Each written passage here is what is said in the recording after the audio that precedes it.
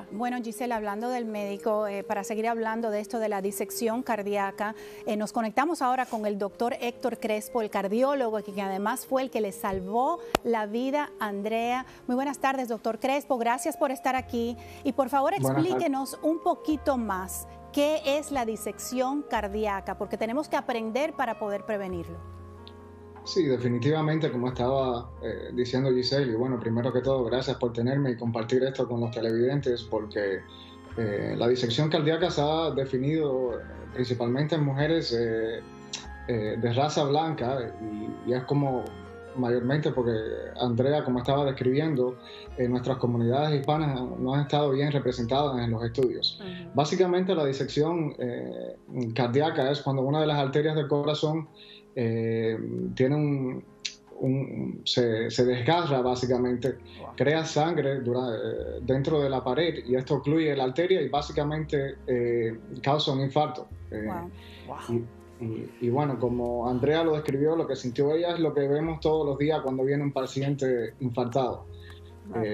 lo que usualmente cuando vemos a una persona joven, 37, menos de 50 años, eh, no pensamos en un infarto, pero eh, sí, definitivamente es una identidad que, hay que descubrir a tiempo y bueno, si se maneja a tiempo, como decimos con Andrea, eh, tiene buenos resultados. Doctor Crespo, ¿cómo podemos evitar que nos suceda una situación así? O si vemos a, un familiar que le está pasando lo que, lo que bien dijo Andrea, ¿no? que de repente se le nubló la vista, sintió una explosión dentro de su cuerpo y se quedó ciega. Y se, y se, fue, se desvaneció.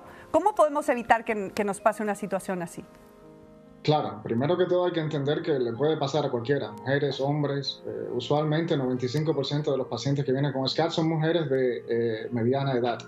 Eh, este, y los, los síntomas pueden ser como le pasó a Andrea, un dolor intenso, desmayo, pero pueden ser síntomas bien leves, cansancio, falta de aire.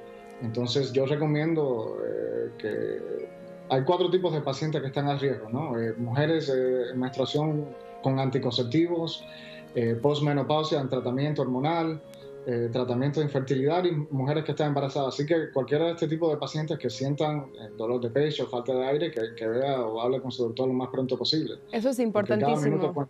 Así es, doctor.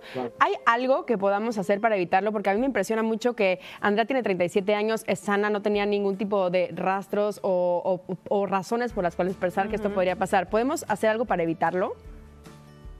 Eh, desgraciadamente, la mayoría de los pacientes eh, tienen predicción de genéticamente por los tratamientos hormonales, los tratamientos de infertilidad, entonces eh, no sabemos bien cuándo pasa y por qué pasa. Entonces, Yo creo que es actuar con, rapidez, me parece que eso es lo que hace la diferencia. Doctor, Gracias, sabes que, bueno, ya yo le digo Héctor, ya somos familia, de verdad. Muchas gracias por salvar la vida, no solamente de mi hija, sino de tantas y tantas personas diariamente. Un beso muy grande.